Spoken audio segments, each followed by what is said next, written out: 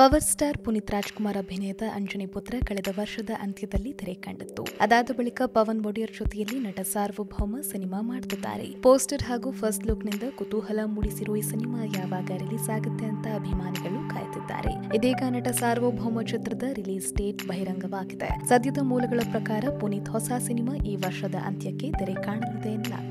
ಹೌದು ದಸರಾ ಹಬ್ಬದ ಪ್ರಯುಕ್ತ ಅಕ್ಟೋಬರ್ ಐದರಂದು ನಟ ಸಾರ್ವಭೌಮ ಸಿನಿಮಾ ತೆರೆ ಮೇಲೆ ಅಪ್ಪಳಿಸಲಿದೆಯಂತೆ ರಾಕ್ ಲೈನ್ ವೆಂಕಟೇಶ್ ಈ ಚಿತ್ರವನ್ನ ನಿರ್ಮಾಣ ಮಾಡ್ತಿದ್ದು ಈಗಾಗಲೇ ಶೇಕಡ ಐವತ್ತರಷ್ಟು ಶೂಟಿಂಗ್ ಮುಗ್ದಿದೆ ರಚಿತಾ ರಾಮ್ ಈ ಚಿತ್ರದ ನಾಯಕಿಯಾಗಿದ್ದು ಚಕ್ರವ್ಯೂಹದ ನಂತರ ಪುನೀತ್ ಜೊತೆ ಮತ್ತೆ ಸ್ಕ್ರೀನ್ ಶೇರ್ ಮಾಡುತ್ತಿದ್ದಾರೆ ಮುಖ್ಯ ಪಾತ್ರದಲ್ಲಿ ಮಲಯಾಳಂ ಬಿಡಿಗೆ ಅನುಪಮ ಪರಮೇಶ್ವರನ್ ಕೂಡ ಅಪ್ಪು ಜೊತೆ ಅಭಿನಯಿಸುತ್ತಿದ್ದಾರೆ ನಿರ್ದೇಶಕ ಪವನ್ ಒಡ್ಗರ್ ಅವರೇ ಕತೆ ಚಿತ್ರಕಥೆ ಬರೆದು ಆಕ್ಷನ್ ಕಿಟ್ ಹೇಳಿದ್ದಾರೆ ದೇಮಾನ್ ಸಂಗೀತ ನೀಡುತ್ತಿದ್ದಾರೆ ಇನ್ನುಳಿದಂತೆ ಚಿಕ್ಕಣ್ಣ ಅಚ್ಯುತ್ ಕುಮಾರ್ ಬಿ ಸರೋಜಾದೇವಿ ಸೇರಿದಂತೆ ಹಲವರು ಅಭಿನಯಿಸುತ್ತಿದ್ದಾರೆ